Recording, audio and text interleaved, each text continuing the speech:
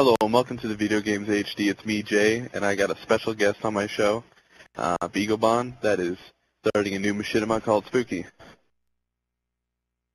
Say hello, Hello. Beaglebond. There you go. Um, I have a few questions to ask you about your machinima. Okay.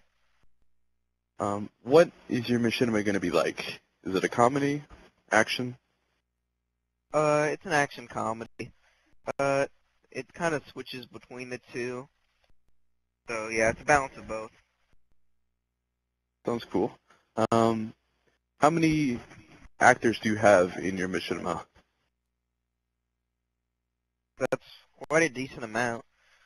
Um, like, as fully committed people, not just like people on my friends list that just come and help out. Probably I'd say about like maybe six. That's pretty cool. Um, I got another question. What is your uh, scene setup like? Scene? Your scenes, what are they set up like? They uh they take place on a, a variety of different mats. Some of them custom forged ones, like L that I made in one of the episodes, and others may just be on normal Forge World or in campaign, different areas. Okay. Um, how do you plan on promoting your videos? Uh, I'm gonna upload it to uh, machinima.com, so hopefully that should get a lot of uh, publicity. Probably also gonna upload it on Blackline Media, so it can have extra attention.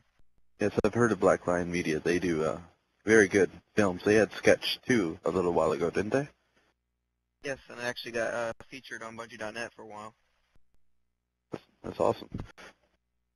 Um, so tell me, uh, where do you where do you come from, Beaglebond?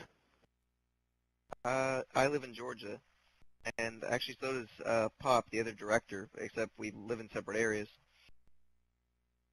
Do you plan on ever meeting up and continuing your machinima business together? Uh, if it's successful enough, maybe.